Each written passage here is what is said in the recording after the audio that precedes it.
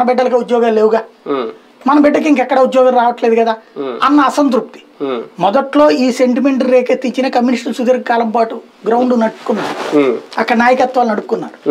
కాంగ్రెస్ నిరకాటంలో పెట్టడానికి వాడుకున్నారు. సెకండ్ ఫేజ్లో పివి నరసింహారావు వచ్చాక ఏం చేశాడు? కమ్యూనిస్టుల చేతిలో మన గ్రీ- తలకాయ ఎప్పుడు ఉంటుంది. ఎందుకంటే కార్మిక సంఘాలు. ఈ కార్మిక సంఘాలు ఎందుకు ఉంటున్నాయి? ప్రభుత్వ రంగంలో ఉన్నాయి కదా. ప్రైవేట్ రంగం అనేటువంటి సెంట్రల్ ఇంటర్నేషనల్ పాలసీని మనం కూడా తెచ్చేస్తే సరిపోద్దని ఆయన డబ్ల్యూటీఓలో సంతకం పెట్టాడు.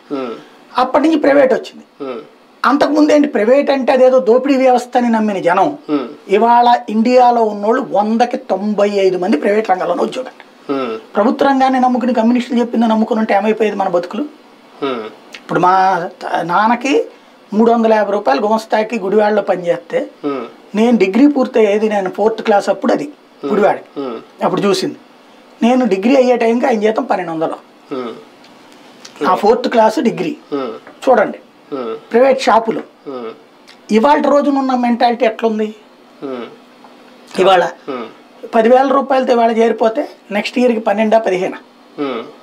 పరుగు ఇప్పుడు మామూలు రేంజ్లో లేదు. ఇవాళ ఎవడు వెనక్కి తగ్గే ఉద్దేశం లేడు. మళ్ళీ ప్రభుత్వ రంగ వ్యవస్థ రావాలి. ఇదంతానే.